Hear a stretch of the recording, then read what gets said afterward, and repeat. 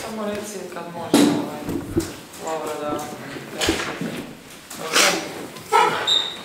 E, Dobro večer svima u 18. kolu oba ligi. Cibona je poražena od FNP-a rezultatom 84 naprema 85. S nama je trener Vladimir Jovanović i igrač Stefan Pod.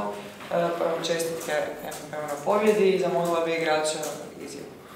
Da, pre svega dobro večer. Ovaj, mislim da smo verovali celu utakmicu u pobedu i to nam se na kraju vratilo. Energetski smo cijela klupa i svi koji su igrali dali su neki doprinos i mislim da smo zbog toga zasluženo pobedili. Nije bilo dobro u nekim segmentima, ali to je sve deo igre i mislim da treba da nastavimo da ispravimo te greške i da spremimo za sledeću utakmicu i da, da te neke koje smo radili pre ne ponavljamo i opet uđemo motivisano protiv, protiv Zvezde i da ovaj da odigramo na najbolji mogući način. Eto, toliko od mene. Čestito bi Ciboni na fair i korektnoj borbi i, i srećno u nastavku ove prvenstva. Eto, to je to. Hvala. Nema nekih pitanja? Hvala. Ponoću u vodu, ja. Može, može. Hvala. To za tebe. Prijatno, ne? Da, počnem ja ili... Da, da, Ček, da, može. A, Ne, ne, može izjavu. Dobro, dobro večer svima. E, Čestitam stvarno momcima na, na pobjedi koji su ostvarili na način na koji su ostvarili, gde su gde smo eto imali i, i dva slobodno bacanja u regularnom delu za pobedu, nismo to rešili, ali smo u produžetku pokazali opet karakter kada smo na pet razlike uspeli da se vratimo i da eto pobedimo na kraju. E, Bilo je stvarno e, dobrih, ali bilo je i dosta loših, e, dosta loših segmenta u našoj igri, mi to moramo da ispravljamo, to nam jeste cilj do, do kraja ovaj, regularnog dela prvenstva.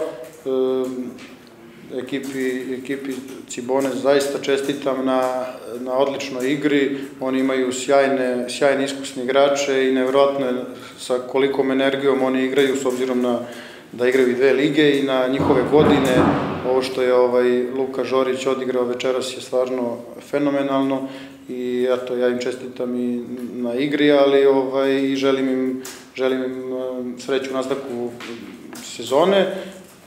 A, ovaj kao što sam rekao mi se okrećemo stvarno sledećoj utakmici žestokom radu i to je to. Hvala. Pitanja, vidimo se, kada ću vodu ostaviti.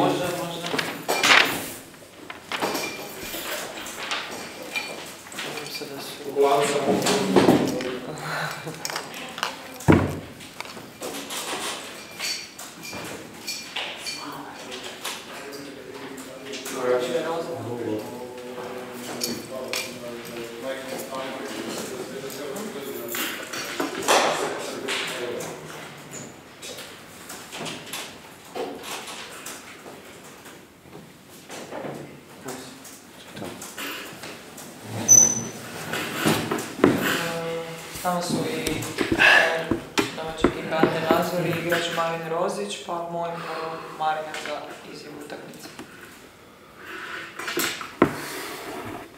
Pa težak poraz, iskreno. Ovaj, stvarno smo vjerovali, dobro trenirali ovaj tjedan i pripremali se za ovu utakmicu i na momente smo izgledali dobro. Jako smo dobro, ja bih rekao, otvorili utakmicu. Međutim, kad u toku utakmice tri puta odeš na 10 razlike i pustiš da, da ti se vrate, jednostavno na kraju izgleda ta sreća se okrene u korist protivnika. Ja. Mi smo na momente izgledali dobro, jako dobro rekao bih. A isto tako na momente naša obrana nije postojala. Tako da moramo dobro izanalizirati. Mi smo predobra ekipa, preiskusna ekipa da bi, da bi ispuštali ovakve utakmice na kraju. Jel? Oni su na kraju pogodili zaista neke teške šuteve, ali dojma sam da, da, da smo se ipak trebali odvojiti na jednu, na jednu veću prednost i praktički završiti utakmicu puno prije kraja. Čestitke FNP-u, svaka čast i evo šta je tu je, jel? Hvala, ima nekih pitanja?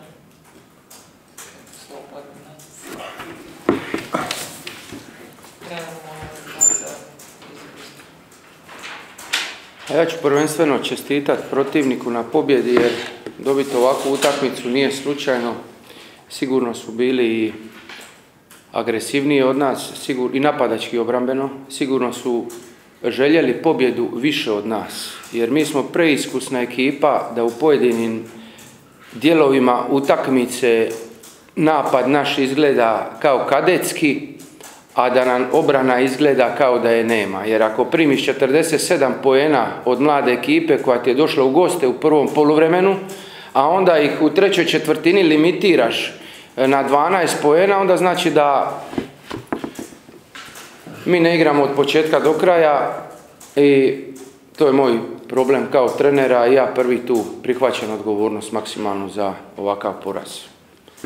I druga stvar je respekt prema stečenoj prednosti. Znači u par navrata na deset razlike u prvom i drugom dijelu i onih pet e, razlike u produžetku za mene kao trenera i za moju filozofiju košarke to je razlika ko kuća i ona se ne smije ispu, ispuštati na ovakav način. Kažem, ne zamjera ništa svojim igračima, prvenstveno sebi na ovom porazu.